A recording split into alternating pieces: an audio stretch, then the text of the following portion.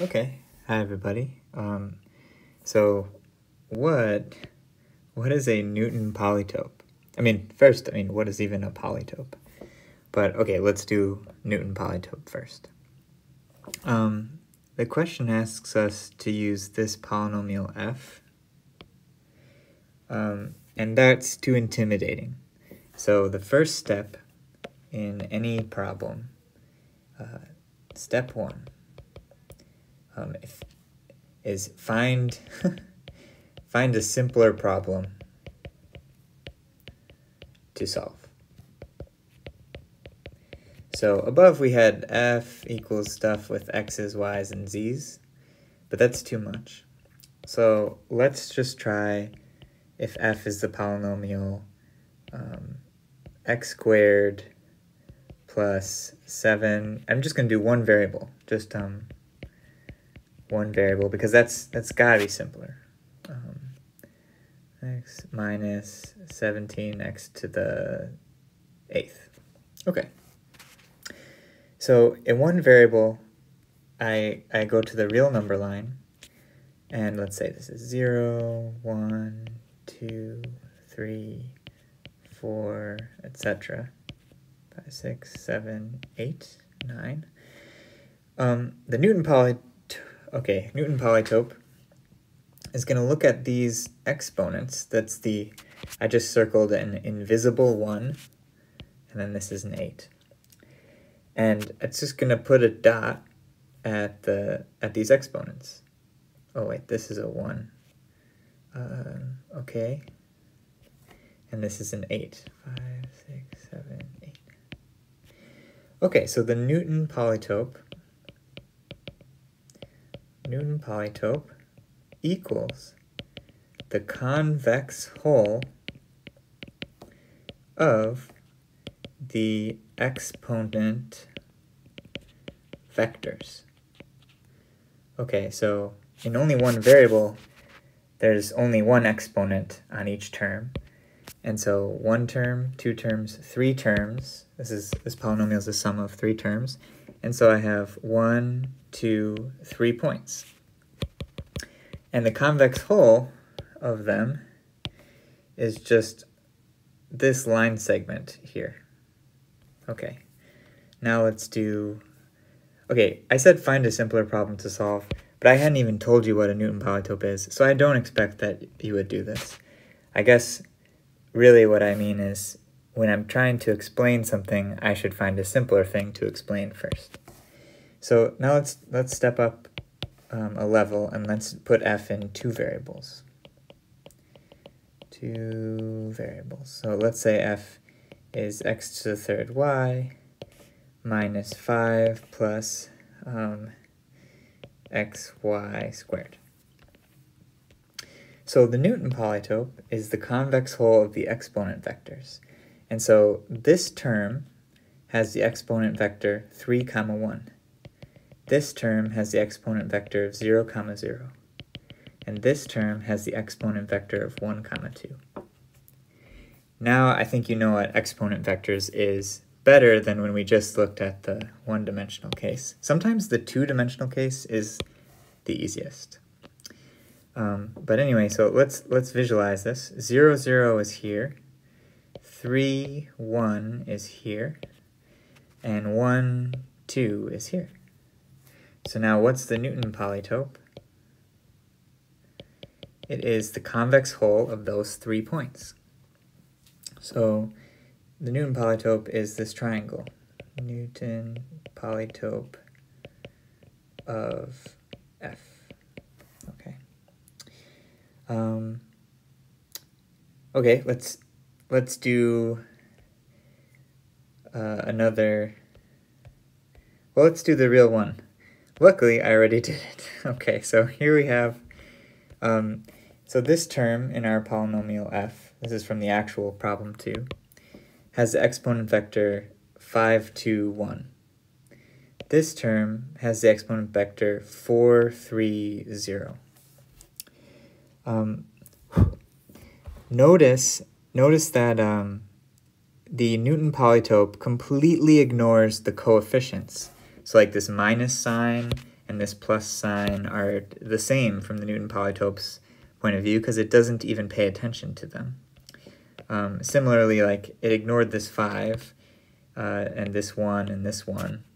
Okay, I could, you know, I've put a 3 there and this is the same Newton polytope. I could put a 300 there and it's the same Newton polytope. So it ignores the coefficients. And um, in this case, this polynomial had, I guess, nine terms. That's the word term is important. Uh, it's a thing that we're adding. So the terms of a sum. That's versus the word factor. A factor is a thing we're multiplying. The factors of a product. Factor of a product. Term of a sum. Um, it's funny, I, I used to think that these words are silly. They're incredibly useful. Um, okay, and then the convex hull of these things is this three-dimensional object here that I really couldn't draw, and I don't even know really what it looks like. Like, should there be a crease there? Um, you know, how many vertices does it have? How many edges does it have? How many faces, two-dimensional faces does it have? How many three-dimensional faces does it have? Okay, that one I know. That one is one. How many four-dimensional faces do it does it have? Zero. And so all the rest are zero. It doesn't have any higher dimensional faces. But I don't know, how many two-dimensional faces does it have? Like at least three, I don't know, maybe five? I would, it's, in other words, I sort of gave you an impossible problem. So I apologize for that.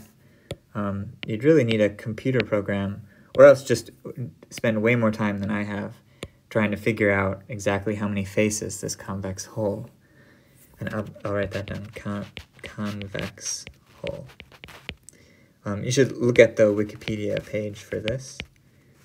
Um, but, okay, so this is the Newton polytope.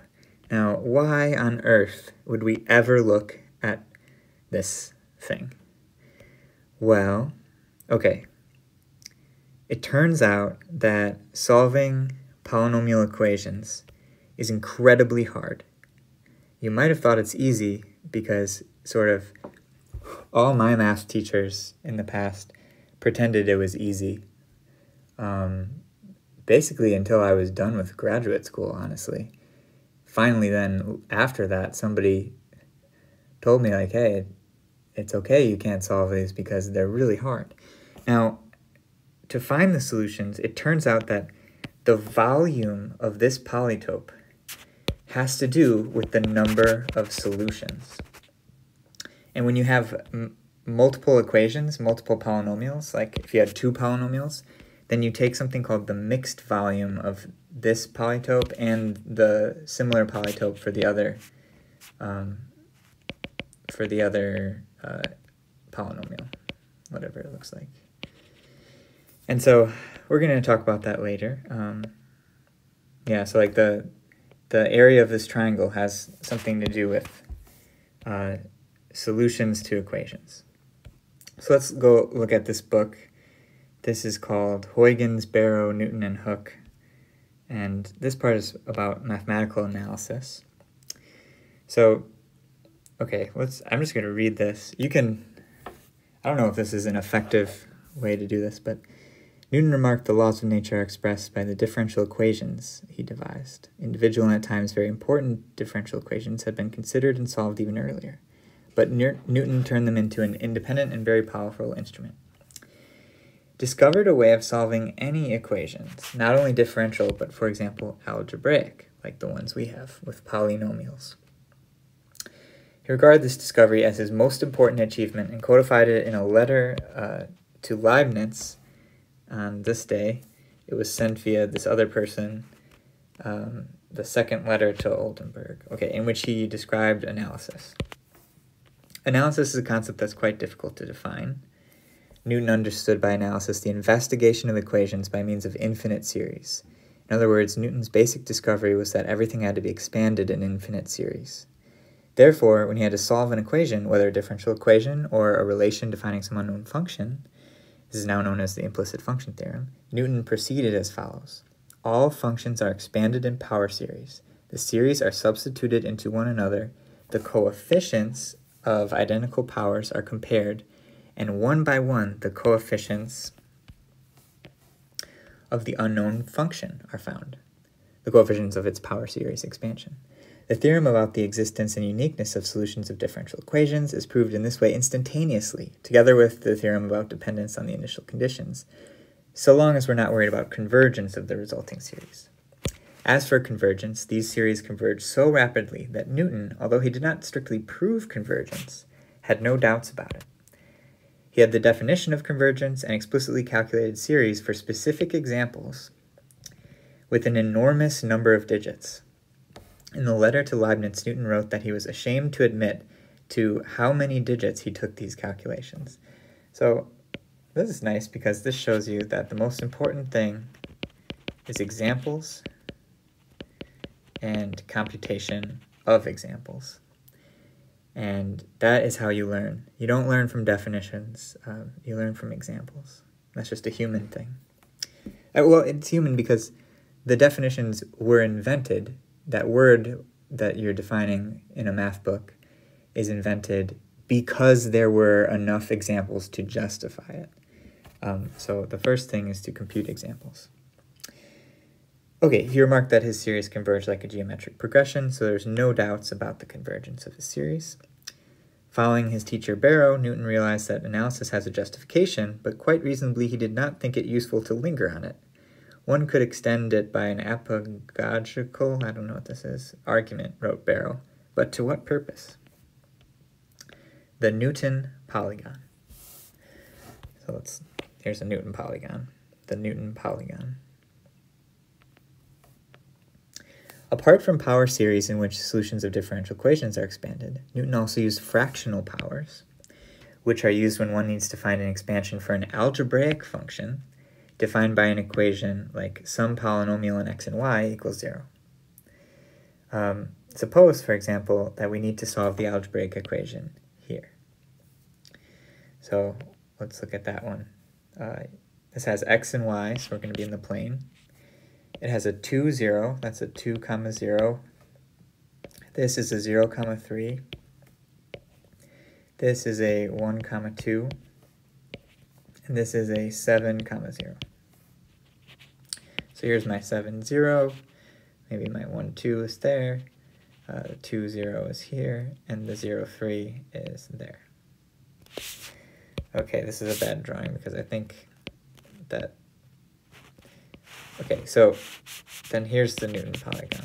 Notice that this point, this was the point um, 1 comma 2 that I very badly drew, uh, is inside the convex hull of the other three. So actually what will happen is, um, is that this, this term of the series, or sorry, of the polynomial, uh, namely this one right here, is going to be sort of less important than the others. It's, it's an amazing fact that sort of only the sides of this um, poly, polygon, so polygon is, is the word for polytope in two dimensions, polytope in two dimension, whereas polytope it can be in any dimension. And polytope you can find a very nice Wikipedia article.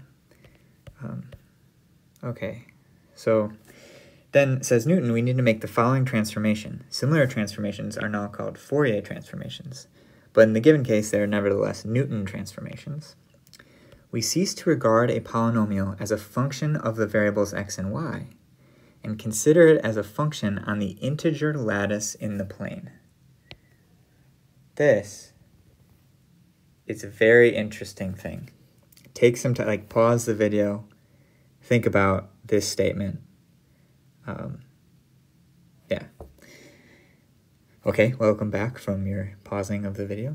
At a point with coordinates mn, this function takes a value equal to the coefficient of x to the m, y to the n in the polynomial. So there's where the coefficient of this monomial comes in. It's the value of the function. We now mark on the lattice, a lattice um, in this case is like z2 inside of r2. We now mark on the lattice the points corresponding to monomials with non-zero coefficients and take their convex hull. We obtain the Newton polygon, figure 7. This is it. So one, two, three, four terms were in our polynomial, and um, this is their the Newton polytope. It turns out that the monomials corresponding to vertices inside the polygon, in, so vertices inside the polygon. So, uh, in other words, this one, uh, it's inside the polygon, have no influence on the form of the series, so we can forget about them, and we need only consider the sides. For example, the side AB in figure 7 corresponds to the two-term equation, like this. We just forget about the other terms. Because if we go to, a, to side AB, um, like that side, there's only two terms. And so we just forget about the others and we deal with that one. Solving this equation and neglecting everything else, we find y as a function of x. This function gives a good approximation near the origin to the solution of our equation. Approximation to the solution. It's not the solution. Right, we threw away two terms, completely ignored them. If we wish to find the next approximation, we need to write this and substitute it into the original equation. After the substitution, we again obtain an algebraic equation, but now for z, which we need to deal with in exactly the same way. Iterating this process, we obtain a series in fractional powers. It is now called the Puiseux series, which gives the solution y of x of the equation in a neighborhood of the origin. This method always works. If we had started with another side of the polygon, we would have arrived at another series, which corresponds to another branch of the algebraic function. The side BD in figure 7 corresponds to the asymptotic behavior at infinity. Okay, so let me just tell you that I would love to understand this, but everything here is uh, actually, I don't understand this yet. I haven't spent the time with it, I haven't tried to figure it out. Um, but this is something we could do if we're interested. It's not really in the plan for this class, um, but I wanted to um, say what's a Newton polytope and why would we care about it. And this is sort of a completely different direction we could go in in discovering things in math. And I'm going to plan to go in a different direction um, where I use the Newton Newton polytope um, in other ways that are very useful. But it's just there's even more that I actually don't know about. So I thought I'd just let you know that. You don't have to know everything. Well, you certainly don't have to know everything. Um, nobody does. Okay, well, I thought this was interesting. So, this book is what is this book? Yeah, um, Huygens and Barrow, Newton and Hooke. Very interesting book. I'll check if the library has it.